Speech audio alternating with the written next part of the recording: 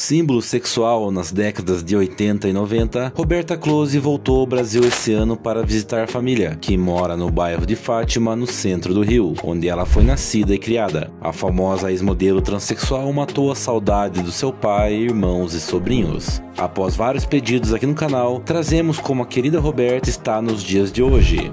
Mas antes de eu te trazer as fotos dela, peço que se for novo por aqui, se inscreva no canal e deixe seu like. Assim você nos ajuda a continuar trazendo este conteúdo em primeira mão.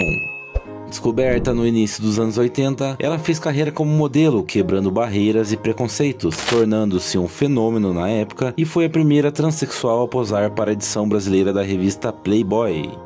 Atualmente, com 56 anos, Roberta optou por viver longe da fama e hoje leva uma vida como uma dama da alta sociedade na Europa. Ela vive desde o ano de 1993 em Zurique, na Suíça, com o marido, o empresário suíço Roland Granacher.